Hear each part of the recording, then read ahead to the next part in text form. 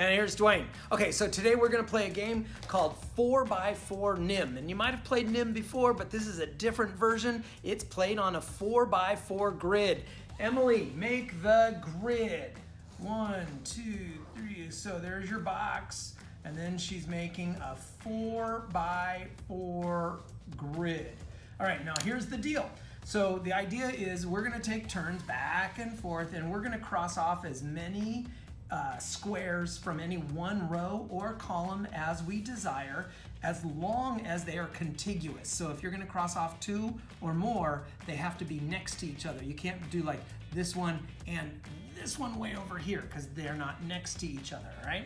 So, all right, Emily, you first or me first? You first. Ah, dang. Okay, so I'm gonna go right here. I'm gonna just go, what?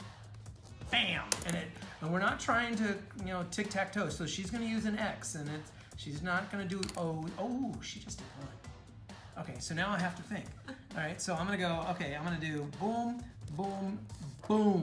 All right, and whoever crosses off the last one is the winner. All right, I can't remember if I said, oh, dang, she's getting aggressive. Okay, so now I have to do a little bit of thinking. All right, so what am I gonna do? I'm gonna cross off these two because I don't exactly know where I'm going here with this. Oh, she's thinking.